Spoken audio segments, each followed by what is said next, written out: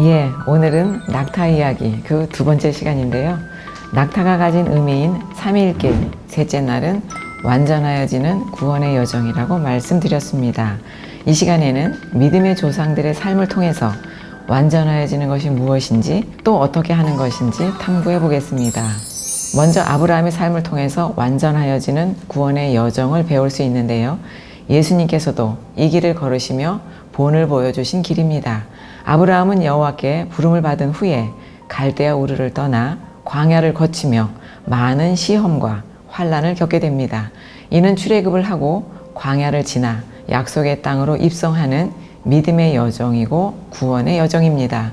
그 끝에서 아브라함은 가장 큰 시험을 만나게 됩니다. 아시는 것처럼 하나님께서는 그에게 사랑하시는 아들 독자 이삭을 번제로 드리라는 말씀을 듣습니다. 그리고 아브라함은 순종을 하는데요. 창세기입니다. 제3일에 아브라함이 눈을 들어 그곳을 멀리 바라본지라 아브라함이 모리아산을 멀리서 바라본 것은 하나님의 그 뜻을 온전히 이해한 것입니다. 그 의미를 제3일이라는 말에 숨기고 있는 것이지요. 아브라함이 모리아산에서 드린 제사는 아들, 즉 최고의 것을 드리는 최고의 예배입니다. 지성소에 이르는 것이지요. 이것이 신약의 변화산에 이르는 것이고 하늘에 오르는 것과 같은 개념입니다.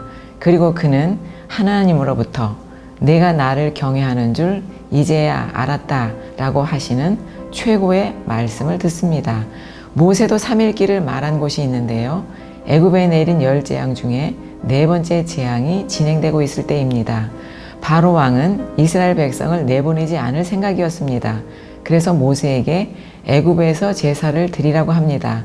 이때 모세는 대답하기를 여기서 제사를 드리면 애굽인들이 이스라엘 백성들을 미워하고 돌로 칠 것이다 라고 하며 거절을 합니다. 출애굽기입니다. 모세가 이르되 그리함이 부당하나이다. 우리가 하나님 여호와께 제사를 드리는 것은 애굽 사람이 싫어하는 바인즉 우리가 만일 애굽 사람의 목전에서 제사를 드리면 그들이 그것을 미워하여 우리를 돌로 치지 아니하리이까 우리가 사흘길쯤 광야로 들어가서 우리 하나님 여호와께 제사를 드리되 우리에게 명령하신 대로 하려 하나이다. 예, 모세는 사흘길 즉 3일길을 가는 것을 여호와의 명령이라고 합니다. 이는 문자적 의미가 아닌 애굽에서 벗어나는 것이 구원이기 때문에 그렇습니다. 다시 말하면 육신의 구조를 벗는 것이고 애굽이라는 억압의 구조, 즉 짐승의 다스림에서 나오는 것입니다. 세상 임금의 다스림에서 돌아서게 하시는 것이지요. 그리고 여기서 우리는 하나님의 말씀을 대적하는 그 바로가 바로 나 자신임을 동시에 깨달아야 하는데요. 이 말 저 말을 하는 것 같이 보이지만 이는 성경이 이중 삼중의 의미를 가지고 있기 때문입니다. 이때 속히 벗어버려야 할 나의 옛사람의 모습이 보이게 됩니다. 옛사람, 옛 구조에 사는 것은 무적행의 삶이기 때문에 하나님께서는 은혜로 나를 그 죽음에서 이끌어내시는 것입니다. 약속의 땅으로 인도하시기 위함이지요. 약속의 땅인 가나안으로 가기 위해서는 먼저 애굽에서 이끌어내심이 있고요.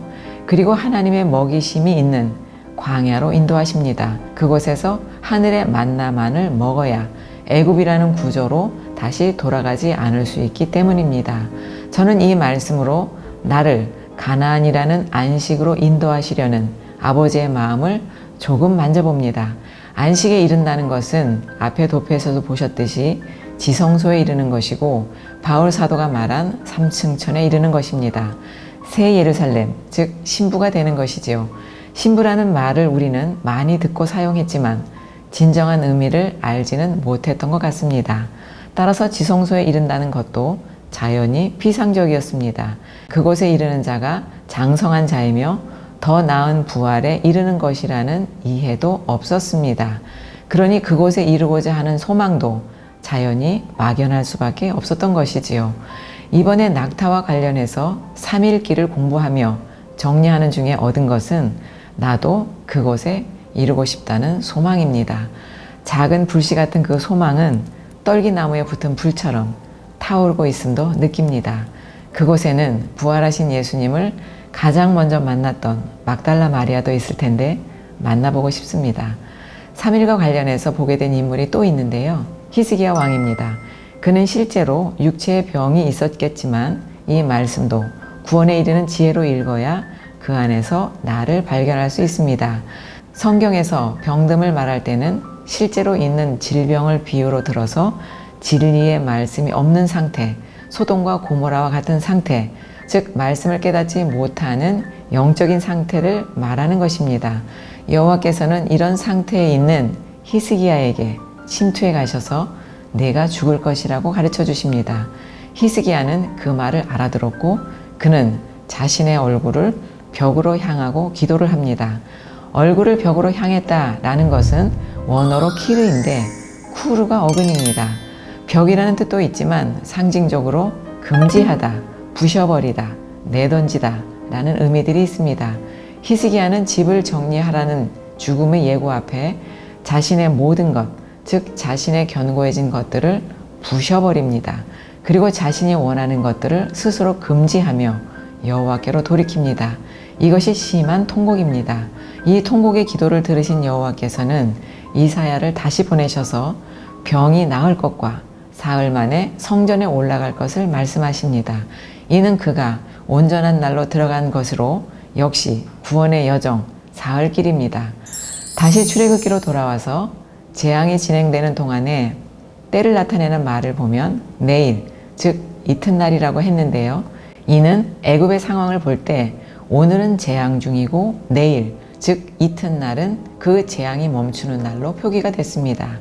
이것이 예수님께서 말씀하신 오늘과 내일로 귀신을 내쫓고 병을 고치는 날과 연관이 있습니다. 누가복음입니다.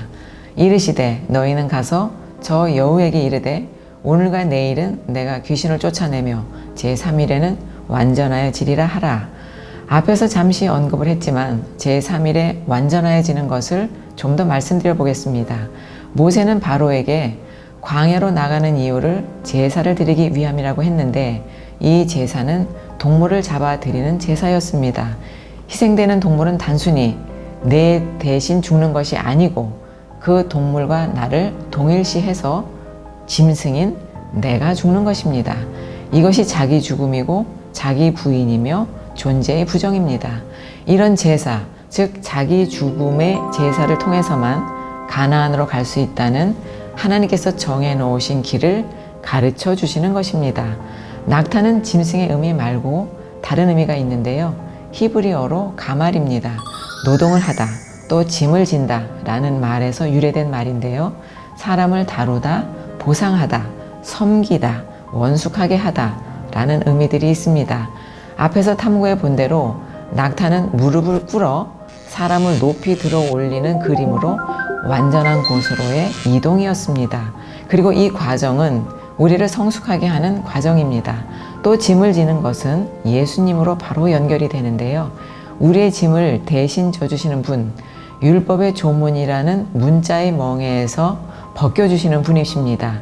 다시 말해서 사람의 가르침, 사람의 계명에서 해방시켜 주시는 분이십니다. 낙타는 나를 태워 올려 더 나은 부활의 자리로 옮겨주시는 예수님의 사역을 감추고 있었습니다. 마태복음입니다. 수고하고 무거운 짐진 자들아 다 내게로 오라. 내가 너희를 쉬게 하리라. 나는 마음이 온유하고 겸손하니 나의 멍에를 메고 내게 배우라. 그리하면 너희 마음이 쉼을 얻으리니 이는 내 멍에는 쉽고 내 짐은 가벼움이라 하시니 예 시편도 보겠습니다. 날마다 우리 짐을 지시는 주 곧 우리의 구원이신 하나님을 찬송할지로다. 끝으로 신약에는 낙타 털옷을 입은 사람이 나오는데요. 제사장 사가랴의 아들 세례 요한입니다. 당시 요한의 거처인 광야를 생각할 때 거친 낙타 털옷을 입은 것은 그럴 수밖에 없었을 것이라고 간단히 생각했었습니다. 요즘 말로 하면 자연인과 같은 것이라고 이해하고 넘겼었습니다. 숨겨진 의미를 놓친 것이지요. 마태복음과 마가복음에 기록하고 있는 이 말씀을 사도 요한의 가르침으로 이해해 보겠습니다. 여기서는 마태복음만 보겠습니다. 이 요한은 낙타 털옷을 입고 허리에 가죽띠를 띠고 음식은 메뚜기와 석청이었더라. 앞에서 낙타의 의미를 살펴본 대로 세례 요한 자신도 운반의 개념으로 이해할 수 있습니다. 낙타 털옷을 입은 세례 요한은 스스로 낙타가 되어 예수님의 길을 예비하고 있었습니다. 우선 예수님에게 세례를 베푸는 것으로 하늘의 일들을 운반해 오고 있었고요. 요한은 나보다 능력이 많으신 분께서 오시는데 그분이 신랑이라고 알리고 있었습니다. 사도 요한은 그 일을 놀랍게도 자신은 쇠하여져야 하고 예수님은 흥하여지심으로 기록하고 있는데요. 요한복음입니다. 그는 흥하여야 하겠고 나는 쇠하여야 하리라. 예, 세례 요한 자신이 쇠하여지는 것은 잘 들어보세요. 물세례의 한계를 영의 말씀이신 예수님의 불세례로 넘기고 있는 것입니다. 다른 말로 하면 쇠하여야 할 자신은 옛 언약이 되는 것이고요. 새 언약이신 예수님의 오심을 자신의 몸으로 드러내고 있는 것이지요. 옛 언약인 율법은 새 언약인 복음을 예비하는 것이 됩니다. 율법은 예수님께로 인도하는 몽학 선생이요 징검다리이기 때문입니다. 보이는 돌 성전에서 보이지 않는 성전으로 창조하실 예수님을 드러내고 있는 것이지요. 율법의 절기들과 동물의 희생 제사에서 이것을 대신할 대제사장이신 예수님의 길을 열고 있는 것입니다. 그리고 그는 어처구니 없는 사건으로 죽임을 당하는데요. 이는 옛 언약, 옛 구조의 무너짐을 의미합니다. 이것이 사람의 손으로 지어진 돌 성전의 무너짐입니다. 세례 요한은 이 무너짐을 자신의 몸으로 계시하고 있는 것입니다. 특히 그는 목이 베어지는 죽음을 맞는데요. 큰 의미가 있습니다. 이는 예수님의 머리가 두어질 성전으로의 완성을 의미하는 것이지요. 계시록은 이것을 말씀으로 목베임을 받았다라고 합니다. 세례 요한처럼 목베임을 당한 이들이 14만 4천이라는 존재가 되는 것과 같은 것입니다. 세례 요한은 이렇게 자기 부인과 자기 십자가를 고난과 죽음으로 이루어낸 진정한 제자였습니다. 예, 낙타와 관련해서 말씀 속을 한바탕 여행한 것 같습니다. 여러분들은 어떠셨어요? 낙타 이야기는 여기까지 하겠습니다. 이 말씀을 들으신 여러분들이 성령님과 함께 더 연구하시면 좋을 것 같습니다. 그러면 또 다른 깨달음을 얻을 수 있는 기쁨이 있을 겁니다. 그 기쁨은 저에게도 알려주세요. 기대할게요. 다음 시간에는 이리 늑대 이야기를 준비하겠습니다. 감사합니다.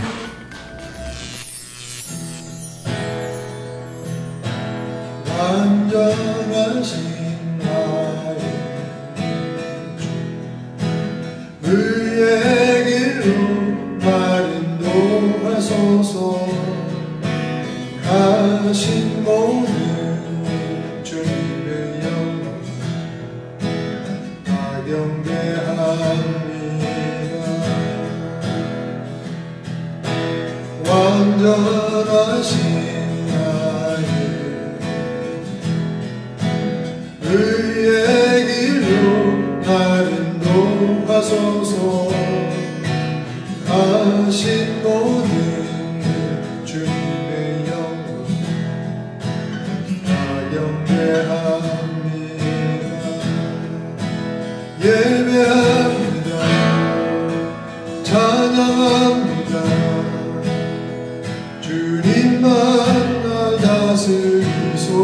다스리소서 예배합니다. 찬양합니다. 주님 홀로 너를 받으소서. 예배합니다. 찬양합니다. 주님만 날 다스리소서. 예배합니다